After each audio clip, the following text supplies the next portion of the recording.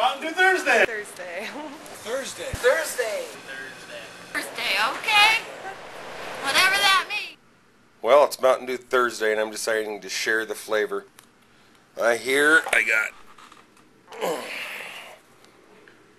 got those. I'm gonna take them into fellow coworkers that just like the Dew as much as I do, or maybe a little bit less.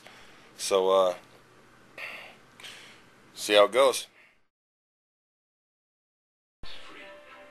I do apologize. I didn't get any footage today for Mountain Dew Thursday.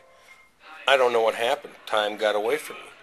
But I must say that the two individuals I shared Mountain Dew with thoroughly enjoyed the gesture and the beverage. But uh, hopefully next week will be something more entertaining. Look, I'm recording that's recording me.